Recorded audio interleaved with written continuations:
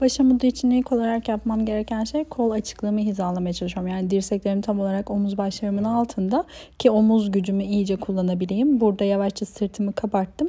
İlk aşama birinci çıkış şekli olarak tek bacağımı dizime çektim. Diğer bacağı da onun yanına minik bir e, kickle beraber yaklaşıyorum ve uzattım bacaklarımı. Burada zaten yukarıda dengeyi bulmaya çalışıyorum. Sırtımın nasıl kabardığını görüyorsunuz. Şimdi yavaşça indirdim. İkinci kalkış şekli en zoru diyebiliriz. Bacaklar birbirine tamamen birleşik. Çok e, güzel bir karın gücü istiyor bu pozda. Yine sırtımı kabarttım, kalçamı iyice kafamın üzerine doğru getiriyorum. Aslında ben burada normal şartlarda biraz daha yürüyebilirdim ama biraz kolaya kaçmışım. Çok hafifçe bir fırlatmışım kendimi orada.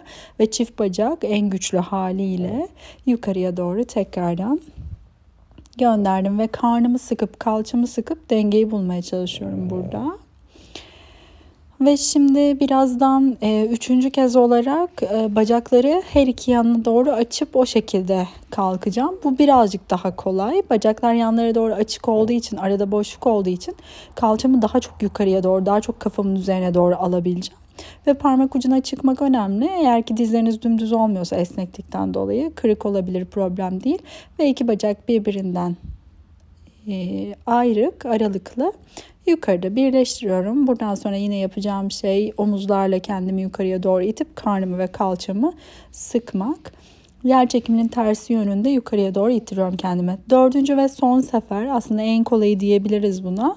Tek bacağı yukarıya doğru kaldıracağım. İyice kalçamı hafifçe böyle bir tek tarafa doğru birazcık e, eğim vererek sırtımı kabarttım. Omuzlarım şu an kuvvetli. Kalçamı başımın yukarısına doğru gönderiyorum. Tek bacağı kaldırdıktan sonra diğeri tekini kaldırmak karın gücüyle biraz daha kolay.